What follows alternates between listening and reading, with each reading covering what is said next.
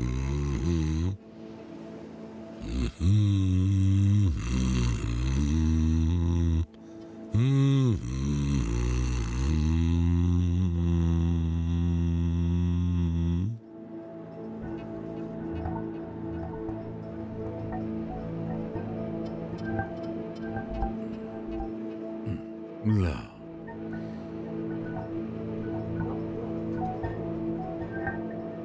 شو بدك تعمل جلال؟ ولا شي بس عم ندفن الجثة. كنت عم تمشي بالشوارع وتكتر حكي وتقول عن حالك جثة. آه. خليك هيك محلك. إيه بضل؟ ما في مشكلة.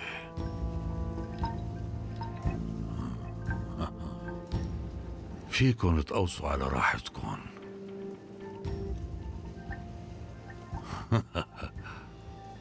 آه شو عم تستنوا؟ هو الصلاع قوس يلا. لا. ما حدا رح يقوس طلقة واحدة. رح خليك بالتابوت ودفنك بالتراب وأنت عايش. أنا حذرتك من قبل وقلت لك لا تطلع بوشي بعد كل هالوقت قلت لك روح بس أنت ما سمعت كلامي. أصلا أنت كل عمرك هيك ما بتسمع كلام الكبار يا قدرات.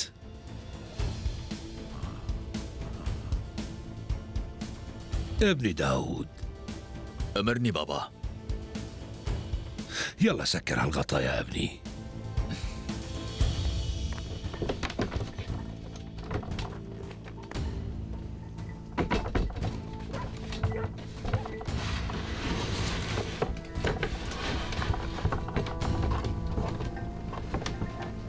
لك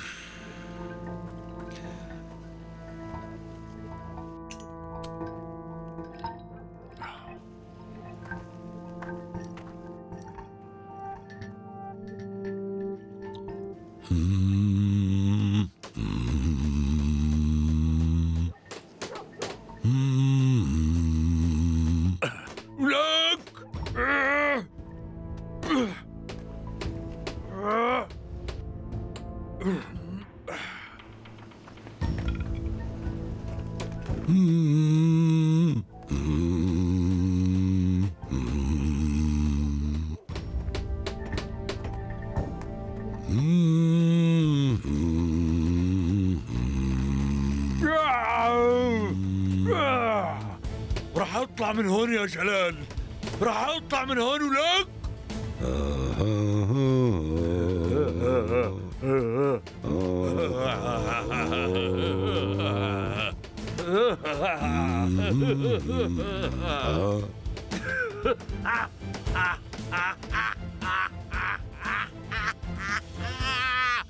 آه خلصنا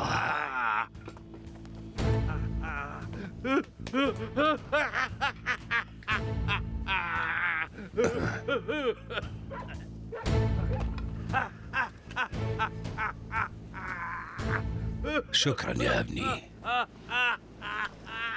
احكوا لي لشوف يا شباب. كيف تعرفتوا على المرحوم وشو بتعرفوا عنه؟ كان زلمة ما في منه فايدة بابا. ليش يا أبني؟ بشو ما كان يفيد المرحوم؟ خليني أحكي لكم عنه شوي. الزلمة ما عرف كيف يحب. صار يتجاوز حدوده كتير. ولأنه ما عرف إمتى يوقف.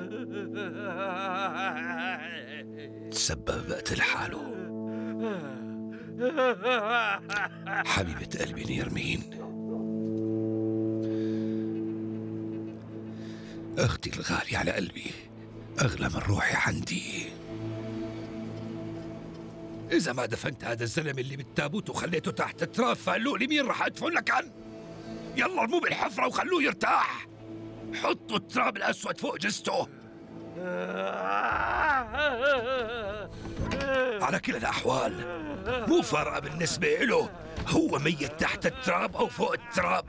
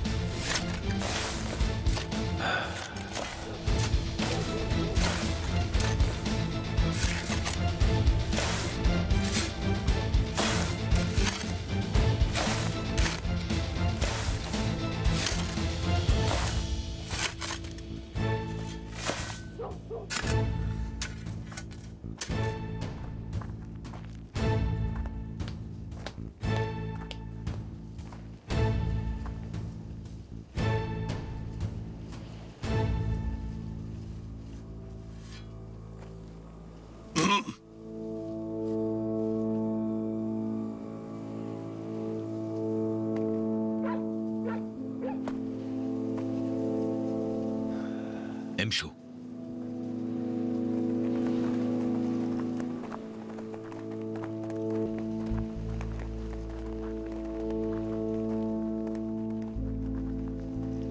من زمان كنت أحبك أكثر مما بتتخيل.